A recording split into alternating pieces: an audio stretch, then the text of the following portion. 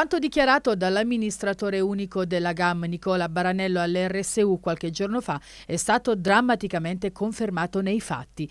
Da ieri l'impianto di macellazione dei polli e il mangimificio sono chiusi. Resta aperto solo l'incubatore per l'allevamento dei pulcini per onorare il contratto ancora in essere con l'Avimec. Dunque non si allevano più polli, la filiera è ferma. Uno stop alla produzione piombato come un fulmine a ciel sereno, senza alcuna comunicazione ufficiale da parte della regione.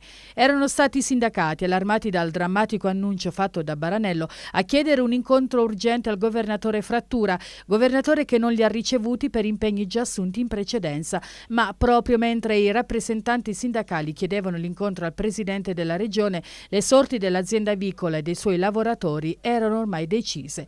Le assicurazioni di Frattura sull'impegno della regione a non far morire l'azienda, a rilanciarne la produzione, oggi suonano come una beffa.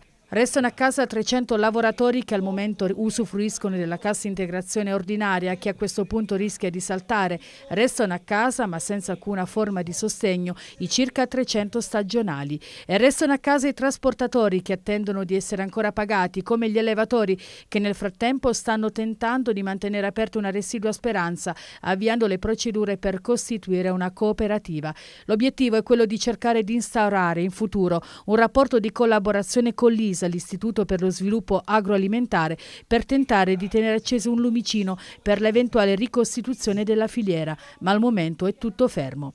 Intanto domani dovrebbero arrivare in Molise i vertici del gruppo Avimec di proprietà della famiglia Leocata. L'azienda agroalimentare di Modica aveva manifestato l'interesse a rilevare la GAM, riaccendendo così le speranze dei lavoratori, ma forse qualcuno ha cercato di mettere i bastoni tra le ruote, scoraggiando i siciliani.